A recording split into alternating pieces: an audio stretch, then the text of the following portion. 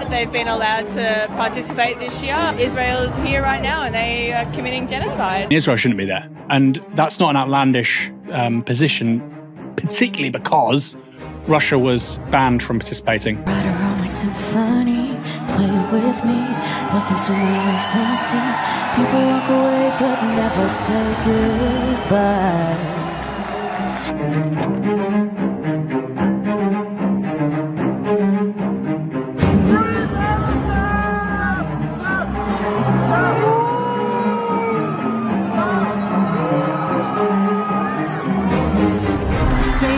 It's impossible Cause I know it's possible